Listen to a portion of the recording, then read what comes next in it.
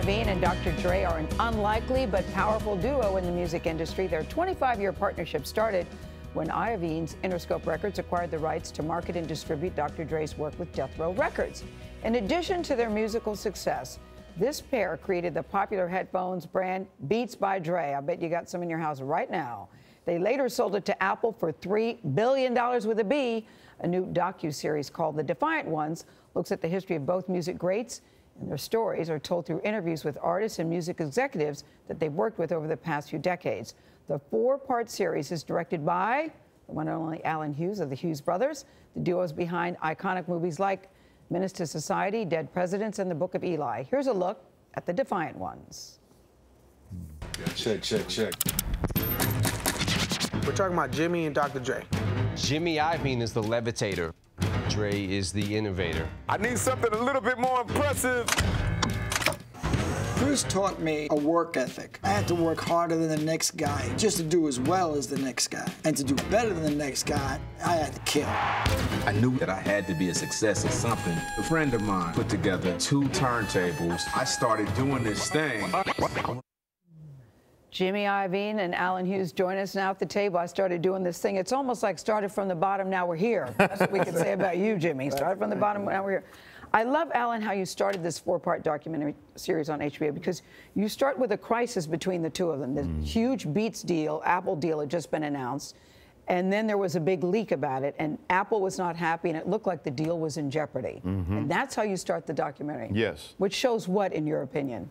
It shows the strength of their partnership because it was terrifying when that went down. Yeah. Um, because I almost, the film almost went away too. I thought my film was gone. Because what? Because I was shooting for three weeks before that happened. Yeah. And, before, and he, he, kept it a secret. Dre kept. I didn't know where they were making the You hadn't told anybody, Anyone. Jimmy, mm-hmm. and then it's leaked on the internet. Yeah, it was leaked in uh, one of the newspapers. On Facebook, yeah. Mm-hmm. And you thought, okay, this deal's going bye bye. Well, I just knew that it was a problem. Uh, and I knew we had a real problem, and uh, Apple's very concerned about secrecy, you know, as they should be.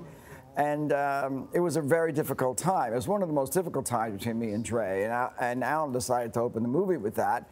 I guess to show that, you know, you stand, you know, like what I said in the, in, in, what I said to will.i.am, which he says in the movie is, Dre made a mistake. It was the horse I rode in with, you know, and uh, yeah, and I'm sticking with him. Oh, yeah, and, plus, and, and, and, also, danced with who brought you? Tell you say. Yeah, yeah. We we immediately, I wanted to immediately send a signal to the audience that this is not a fluff piece. This is not going to be a fluff fluff piece. This is not going to be a tribute film. Mm. This is going to be a serious film, the good, the bad, and the ugly. And the ugly. And, did, did you get them to tell the truth? Absolutely. And I learned about I learned a lot about what the truth is. There's versions of the truth. Yeah. Between the two of them. But I think you should set the, let the audience know about the, the partnership that you and Dre have because you come from two very different backgrounds. Yes, very different, very different, but similar in some ways. You know, uh, uh, Dre's from Compton, I'm from uh, Brooklyn, and uh, we both wanted to make a better life for ourselves, right? And we both somehow we were both recording engineers. That's how we got our break. You know, he was a DJ, but he became a recording engineer, and so did I. And um, what happened was is that when we finally met, and we meet in episode three, and um, and we stuck together, and for in some of the most difficult and unnerving times in the ever in the history of the entertainment business. Yeah. And whoever sees the movie looks to me and says, "How did you do that?" And you know, a friends of ours have asked me, um, "How did you do that?" And I said, uh, "Because I believe in him, and he he stayed with me. He trusted me. You see, that was the big thing." The thing was that he trusted me, and there was no basis for him to trust me. There's so many great interviews yes. in the in the documentary. Bono, of course, and he says there's a lot of people that don't like him but that's why you want him in the room for his brutal honesty. Mm -hmm. So what were you brutally honest with Bono about?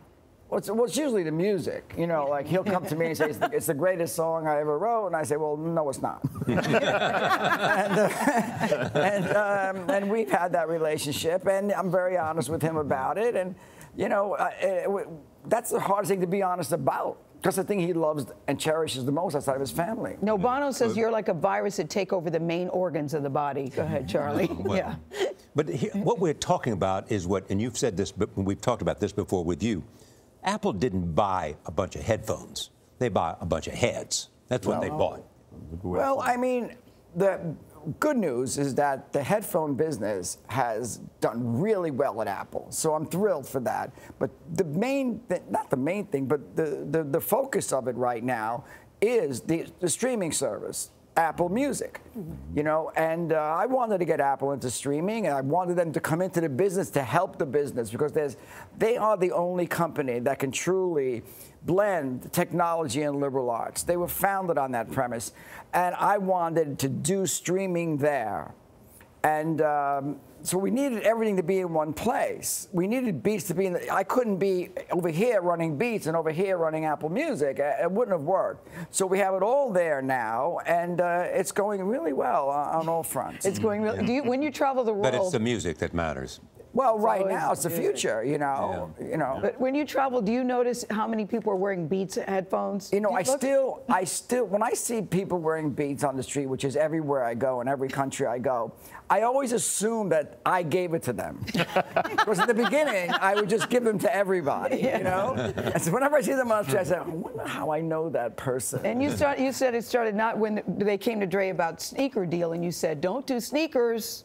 They're speakers. And the be reason why I speaking, said that is because fashion and audio don't rhyme. There you go. There you go. Jimmy Iovine, your dad once said this about you: every room you go into is better because you're there, and everybody that knows and loves you feels that. And, and if you want to understand that, go look at this documentary. Yes, this documentary is knockout. Congratulations. Thank Yeah. you so much. Very well done. Very well done. Jimmy Iovine and Allen Hughes.